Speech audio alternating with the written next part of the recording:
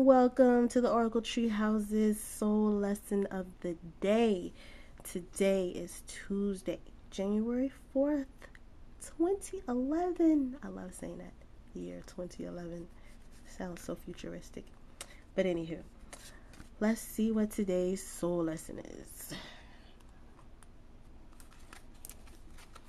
Oh, seek hidden treasure. Y'all, we all have this hidden buried treasure with us.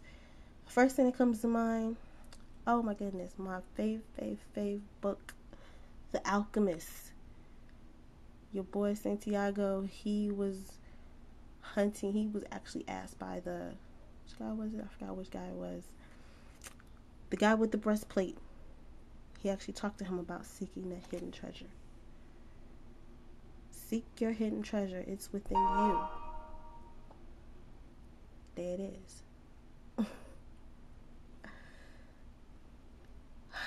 but we all have it. It's deep down inside. Look for that hidden treasure. It's there. It's within you. Alrighty, that is today's vibe of the day. Well, soul lesson of the day. I'll talk to y'all tomorrow. Bye.